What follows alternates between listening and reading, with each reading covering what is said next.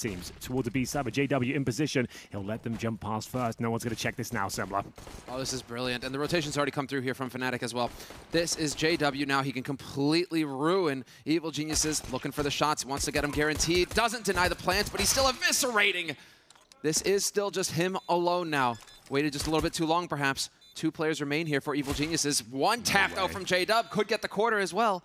Looking for it. Quick spot there from Ethan. No, not Ethan. Brehze.